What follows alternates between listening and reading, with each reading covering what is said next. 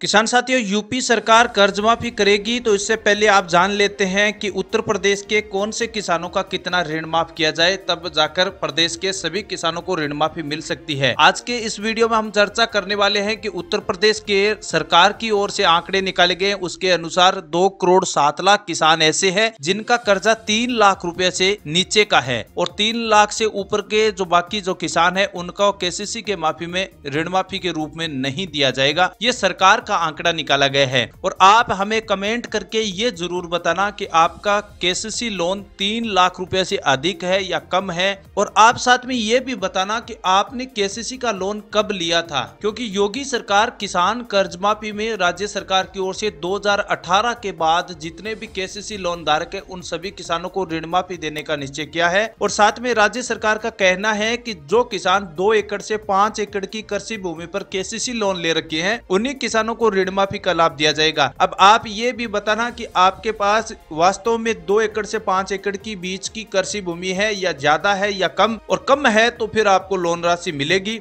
क्योंकि सरकार का मानना है कि पाँच एकड़ से अधिक जिसके किसान के पास भूमि है, वो किसान कर्जदार नहीं हो सकता। उसके पास रोज़गार है, उसके पास अच्छी फ़सल पैदावार करने के लिए ज़मीन है तो उनको केसीसी के माफ़ी में नहीं दी जा सकती। ये सरकार का आंकड़ा है। और मेरे हिसाब से बताएँ तो किसान साथियों, राज्य सरकार को अगर कर्ज माफ़ी करनी है तो प्रदेश के टोटल जो किसान है, जो ऋणी है, जिन्होंने केसीसी का लोन ले रखा है, अब चाहे किसान के पास दो एकड़ की कृषि भूमि हो या फिर पाँच एकड़ की या फिर सात एकड़ की। सभी किसानों को एक समान कर्ज माफ़ी मिलनी चाहिए। सरकार की ओर से जो फैसले निकाले गए हैं उस उसमें सरकार अपना बचाव कर रही है ताकि कम बजट में सरकार किसानों को कर्ज माफ़ी दी जाए। वैसे राज्य सरकार का ये कर्तव्य नहीं है किसान साथियों, क्योंकि राज्य सरकार सभी प्रकार के किसान है, उनको एक समान कर्ज माफ़ी देना उसका अधिकार है, उसकी ज़िम्मेदारी है। और किसान प्रदेश के सभी यही चाहते हैं कि हमारे भी केसीसी या अन्य प्रकार की सहायता राशि मिले। सरकार से यही उम्मीद रखते हैं। तो ऐसे में सरकार की ज़िम्मेदारी बनती है। आपकी कमेंट राय चैट सेक्शन में हमें बताना क्या योगी सरकार दो एकड़ से पाँच एकड़ तक के कृषि भूमि वाले सभी किसान, जिनका कर्जा तीन लाख रुपए से कम का है, उन्हीं किसानों को कर्ज माफ़ी दे रही है। ये निर्णय उचित है या नहीं, आपकी कमेंट राय चैट सेक्शन में ज़रूर बताना।